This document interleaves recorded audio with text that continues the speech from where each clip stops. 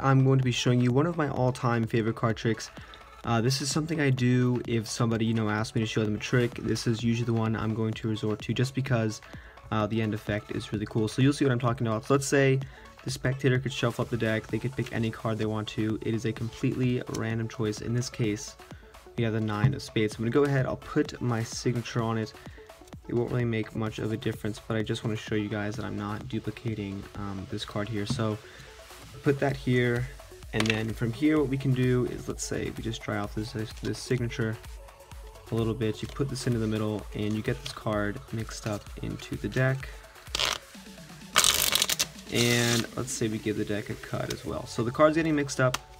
It's lost somewhere, somewhere in the middle. And over here, as you guys can see, the box is completely empty. So let's say we put the cards into the box. We give the box a shut. This way I cannot touch them whatsoever. So um, at this point, if I was doing this live, I would put the cards into my pocket, but you guys can't see that off screen. So I have a pillowcase here. And as you can see, there's nothing in here. I promise you I'm not doing anything like that. So what I want to do is I want to stick this shut deck inside the pillowcase and hopefully within two seconds I should be able to grab out your card from the deck and from the box is still going to be shut. If you go ahead and flip over your card, it's going to be the nine of spades. So this is a trick guys, hope you guys like it and if you want to do it, don't forget to stick on for the tutorial. Alright, so here's how you guys can do the trick. So um, I'm also going to be doing a deck giveaway with this trick, so if you want to win this card and also um, a packet or a deck of cards, make sure to go ahead, like the video, comment down, um, anything, let's say maybe the suggestion you have for my channel, and I'll go through and pick one of you guys, and that is how you can win this card. So uh, for the actual tutorial part, um, it's pretty simple. All you have to do is have the spectator freely choose a card from the deck, so it can be any one let's say they were to pick uh, this card and they were to sign it. And the only reason I signed it in my video uh, was because I didn't want you guys thinking I had duplicate cards or something. So you don't really have to have the card signed, but let's say you do. Um, all you have to do is control this card back to the top. So if you were to stick it into the middle and then do a double undercut, moving their card back to the top, essentially you're just telling the spectator you're mixing up the cards losing their card in the deck, but in reality this one is going on top. And then you can do a riffle shuffle or something just to make sure it looks like it's getting mixed up, but here it is, still on top. And at this point, what you want to do is show the spectators that the box is empty and also that your pocket is empty. So you can do this trick by putting your hands in your pocket and reversing the pockets. Uh, that way the spectator sees there's nothing in there. And the trick is basically you're putting the cards inside the box making sure they're flat, and all you have to do at this point is just push in and squeeze the card box, and as you can see, the top card is going to bow out, and as it bows out, you see this little curve, you close these flaps up, and you stick the top of the box before that. This way, the card is technically outside of the case. So from here, you have the cards like this, and you can kind of just display the box to the spectators kind of nonchalantly saying, look, the box is closed, and they're really not going to think anything too much of it because they can't really see it if you're flashing in like this. And from here, what you do is you stick the box, you put this directly inside your pocket, and in one swift motion, it should pretty much look like this. Let's say off screen, I'm putting the box inside my pocket. So the spectator, you're putting the box inside your pocket, and in one swift motion, your hand follows. Let's go ahead and pretend this is going to be my, po my pocket. So your hand's going down by your side, you're putting the box in, you come out empty-handed, and within two seconds, you're going to be able to grip that card that's inside your pocket and pull it out in like half a second, and you push the deck back out and you show them that the box is still closed. So this trick is really cool. Like I said, it has a really good effect just because you are only using um, you know, real ordinary objects. These aren't gimmicks at all so you can do this with a borrowed deck. Uh, so one more time, the card is going to be inside here, just like that, inside the box. This goes inside your pocket, this goes right into your side. If you come out empty-handed under the cover, you should be able to quickly grab that card, show it to the spectator, and show them the box is still closed. So this is the trick, guys. I hope you guys like it. Don't forget to participate in the deck giveaway if you're interested in doing that. Anyways, guys, I hope you guys like the video, and as always,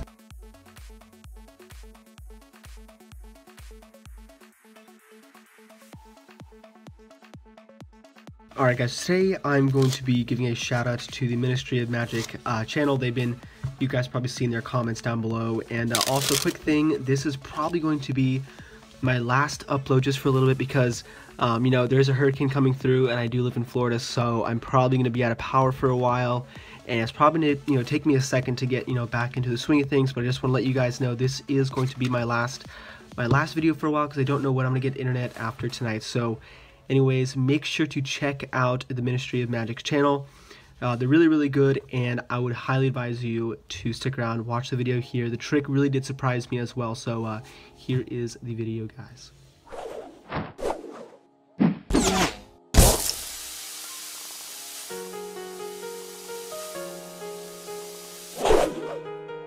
Alright, so this is the Ministry of Magic, and it is my honor to do a collab with Hester23BearCH. He's probably one of the most famous magicians on YouTube, so thank you Hester. And this is my favorite opener trick because it just grabs all the attention from the audience right away. So here's what the trick looks like. I'm gonna uh, just get around half of the pack, it does not really matter, and I'll just use these cards. And right now I'll give these cards a bit of a mix up so they're in random order. I'll place some on top, place some on bottom, place some on top, and place some on bottom. And the spectator could do this as well, he can shuffle the pack, but just to make it completely random, some cards go on top, some cards go on bottom, and I'll give the deck one, one more cut.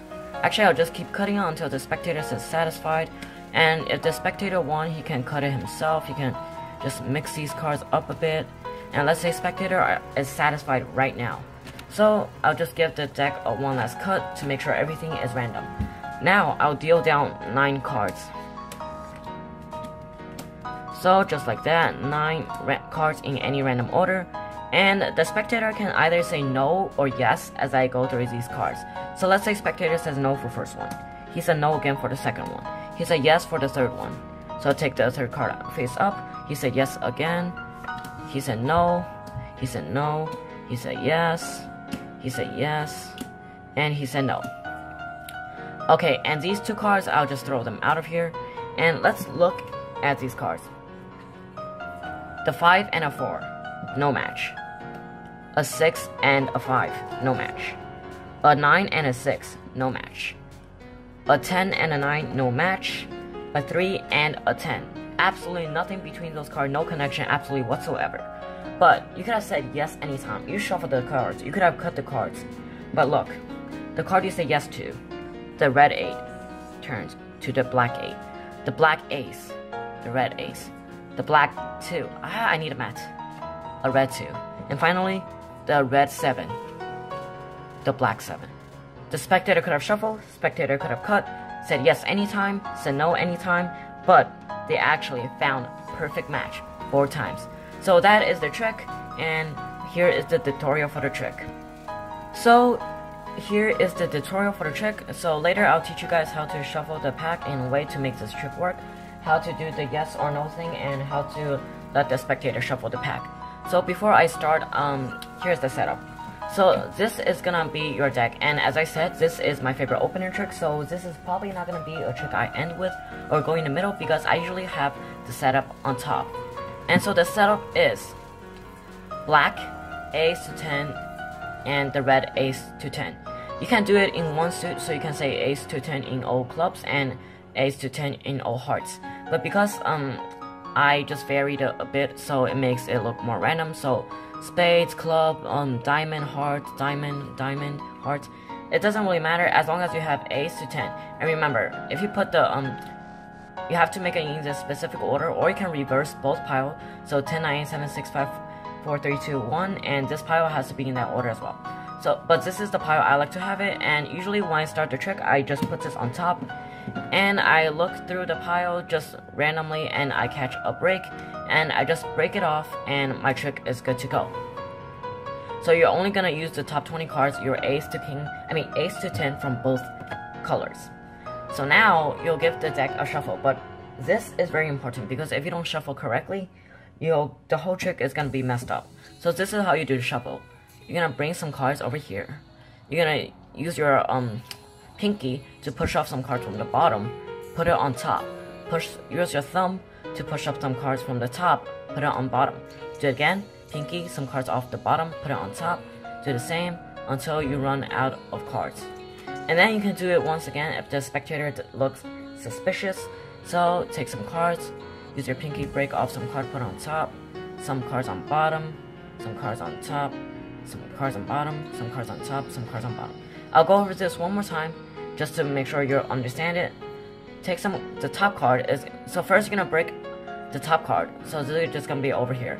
Then use your pinky to push off some bottom card, put it on top. Push off some top card, put it on bottom. Push off some bottom card, put it on top of the pile. Do the same until all the cards are done. So basically what you have right now is you're not gonna have A 2, 3, 4, 5, 6, 7, 8, 9, 10, A 2, 3, 4, 5, 6, 7, 8, 9, 10. But you're gonna have this.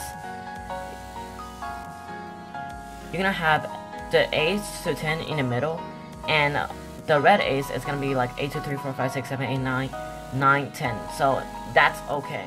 And you can give the deck a few cuts. Remember, the spectator should not riffle shuffle, so you can just ask a spectator to cut the cards anywhere. You can do a Charlie or you can do a Revolution, it does not really matter.